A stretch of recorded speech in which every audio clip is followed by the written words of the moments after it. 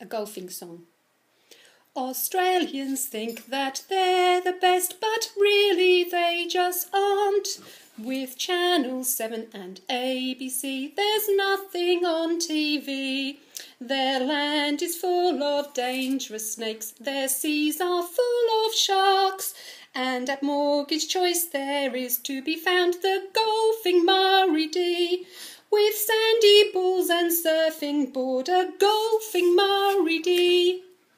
So at the mortgage conference there is a golfing game. There's James Hassel and Darren C. The Brits they look quite tame.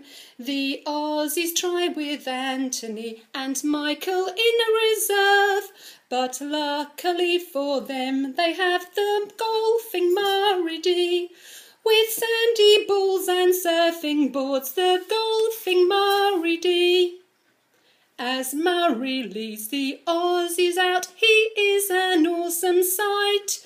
To the first tee he takes a swing and hits with all his might. The ball goes out two hundred yards, it goes out straight and far.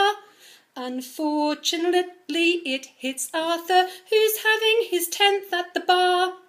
With sandy balls and surfing board, all hail to Murray D.